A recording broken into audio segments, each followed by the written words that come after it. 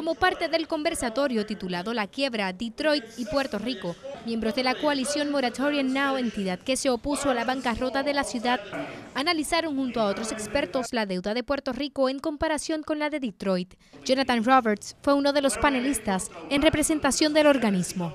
Hablamos sobre la quiebra, ambos las causas y los efectos, uh, específicamente en la vivienda asequible, uh, la suspensión de servicio de agua en Detroit y también uh, la privatización de las escuelas, porque ellos son temas que están conectados a la situación en Puerto Rico.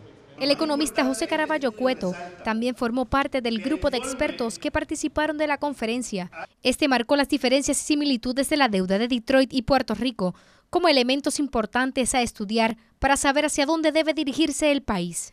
En el caso de, de Detroit, la Junta de control fiscal que tuvieron, eh, la nombra el gobernador electo de Michigan, no se le impone el Congreso, eh, y contó con el apoyo de fundaciones e incluso del Estado de Michigan para estimular la economía. Puerto Rico se le impone una junta y no tiene estímulos eh, económicos ni de fundaciones ni del gobierno federal para afrontar esta crisis. La situación territorial de Puerto Rico fue uno de los temas más discutidos en el conversatorio. Varios panelistas coincidieron en que este sigue siendo un obstáculo para la recuperación económica del país. En el futuro uh, espero que la isla uh, tenga uh, más control de sus recursos, de las escuelas, y de las instituciones financieras. Puerto Rico entonces al no tener eh, representación pues, eh, y al ser una colonia pues eh, estas cosas se pueden dar.